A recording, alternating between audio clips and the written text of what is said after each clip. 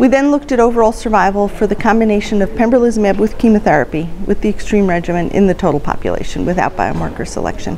And there, there was also a benefit for the early use of pembrolizumab. So pembrolizumab plus chemotherapy improved overall survival from 10.7 to 13 months with a hazard ratio of 0.77.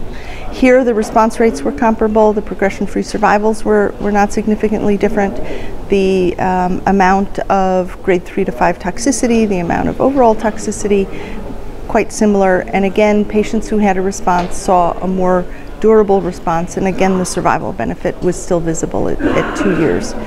So, this demonstrates that early use of pembrolizumab in patients with recurrent metastatic cancer leads to an improvement in overall survival in head and neck cancer. And so, for patients who have the biomarker enrichment, who are PD-L1 expressing, it appears as if pembrolizumab alone as first-line therapy is superior to anything that we've been doing before.